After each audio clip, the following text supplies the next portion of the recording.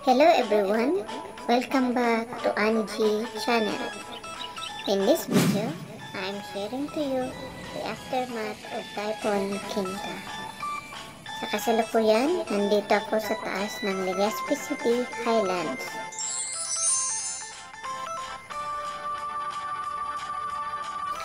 So, makikita po ninyo dito sa view ay ang Mount Mayon Volcano. At maririnig din po ninyo ang tunog o tawag ng baka.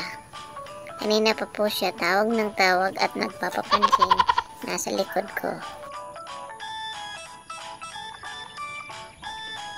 Pinagmamalaki ko po rin ipakita sa inyo ang magandang Linyon Hill or Legazpi City Linyon Hill. So yan. Dito rin sa baba, mayroong lalaki din. Oops, nagdadaan-daan pababa. Baka madulas. Diretso siya sa baba. Ayan po ang nakatakip na ayon volcano. Ay, ito po pala, pinapakilala ko sa inyo ang baka na kanina pa tumatawag at nagpapapansin. Hindi po yan sa akin na baka. Pero kasama po siya diyan at uh, nagpapapansin nga po talaga. Yan, makikita rin po ninyo na pa yung ulan, nakakatigil pa lang ng ulan at ang mga tunog o huni ng mga ibon at mga crickets ay nakakapture din ng video na ito.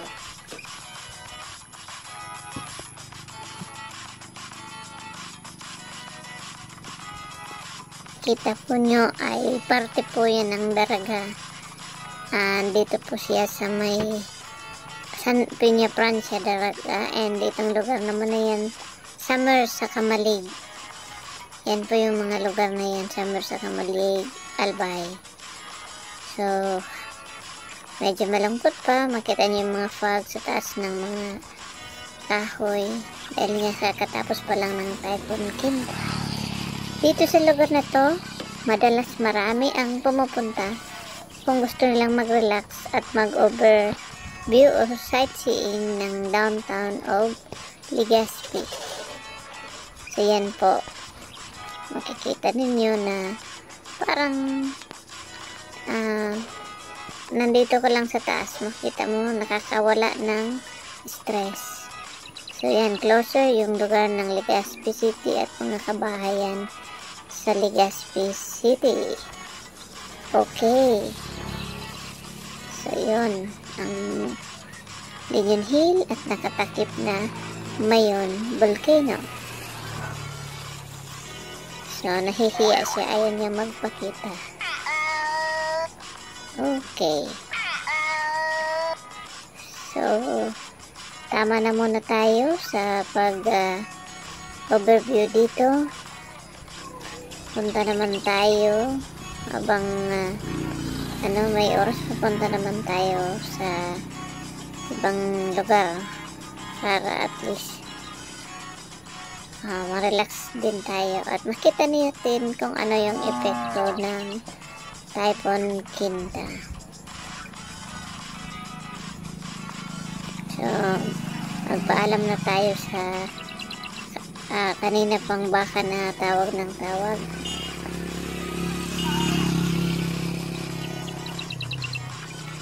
So, yung lugar na ito ay shortcut papunta o palabas sa taga uh, tabon-tabon, Daraga, Albay. So, medyo uh, malapit na at hindi na masyadong traffic pagdating dito sa lugar na ito. So, from Binarik going to shortcut going to Tabon-Tabon, pwede nang lumusot ang papuntang Sorsogon. So, dito naman, dito naman, nadaanan ko ang mga naliligo. Simpleng buhay, ini-enjoy nila yung nature. So, yan ang overflowing at uh, ako'y tumigil at nakipag-usap sa kanila. Hello na iyan, Ma'am Digday. Hello na.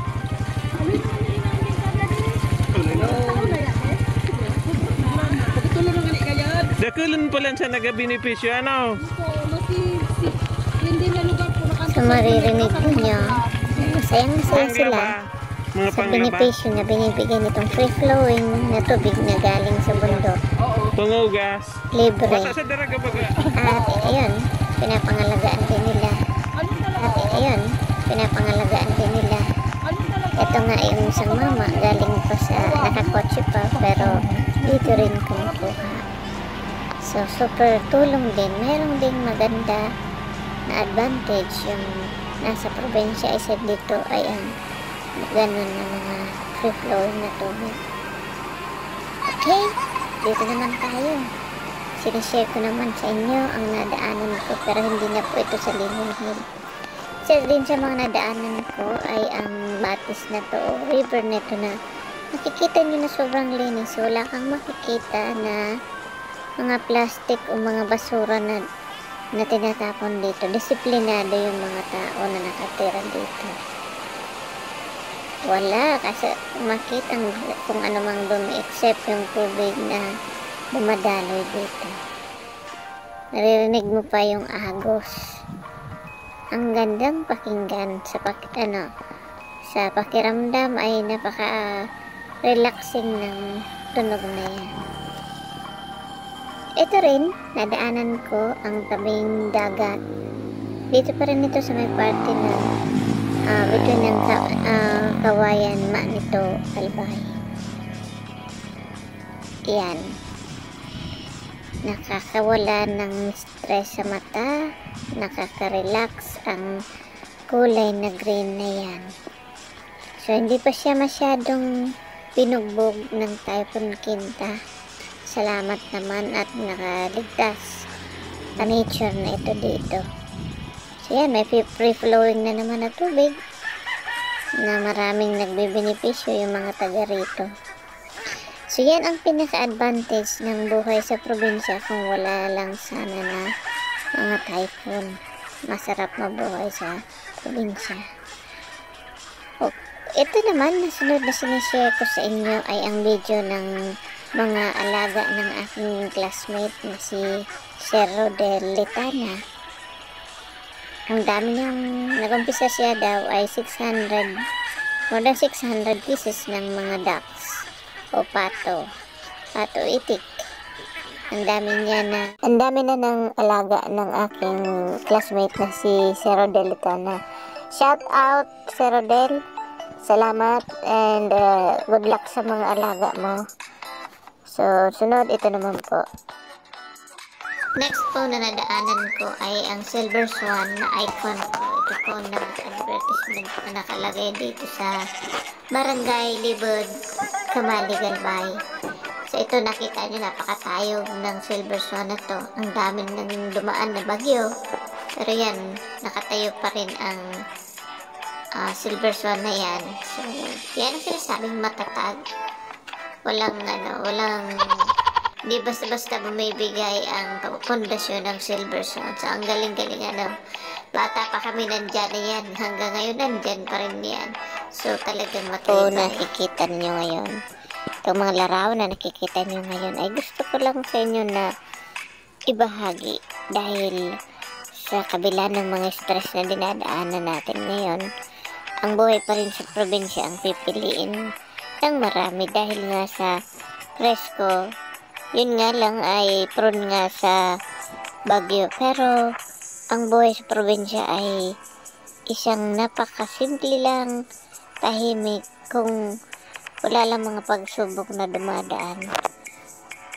Napakapanatag ng mga tanawin at uh, hindi komplikado. Yun nga lang, ngayon ay kakatapos pa lang ng bagyo na kung saan yun ang nagpapahirap din pag nandito ka naka tira sa probinsya. Pero maraming magagandang anggulo kung ikaw ay mabubuhay at mananatiling simple lang ang uh, pangarap sa buhay. As, basta marunong kang magtrabaho at meron kang lugar na pwede mong i-enjoy. May lupa at uh, marami kang kapitbahay na mababait. So mga kaibigan, Diyan muna. Ito na lang po muna ang aking vlog. Sana po nakatulong sa inyo, nakapag-alis din ng stress ninyo. So sa kabila po ng bagyong kinta at mga challenge, so yan po na video na yan ay nialay ko po sa inyo para po makabawas man lang konti ng stress ninyo. Maraming salamat. Ah, see you soon sa susunod kong vlog. Magandang